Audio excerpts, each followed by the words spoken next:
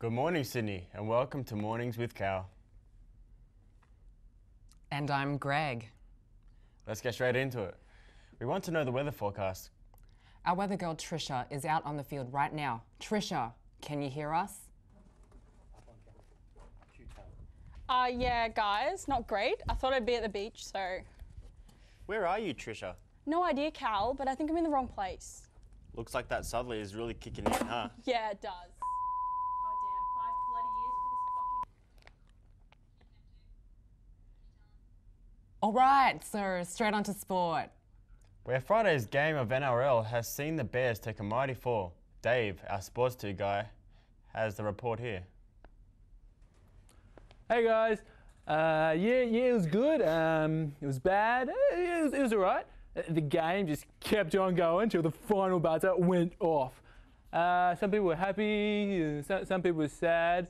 There were a few uh, goals, um, uh, touchdowns, b- baskets scored, but it was electric. Though the energy was a bit low. Yeah, it was a great win, but also a really sad loss for our Bears. Yeah. Well, I'm sure it was a game to be seen. On to tonight's story where a young girl rises from the dead to go to college. What? That's right, Cal. Last month, 19 year old Rebecca Davies died from the Ebola disease after her gap year in Africa. Only last week, Rebecca rose from the dead, giving doctors the shock of their lives. Rebecca, still considered to be legally deceased, as be- has been given the opportunity to go to college. Rebecca is incredibly keen to fill up her brain with knowledge and eat everyone else's in the process. A beautiful story for everyone there. If you can do it, Rebecca, so can we. Now on to our breaking news report tonight. Small town shocked by a rage.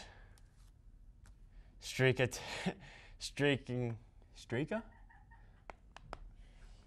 I messed up. Terrorizing their local residents. Over to you, Brenda.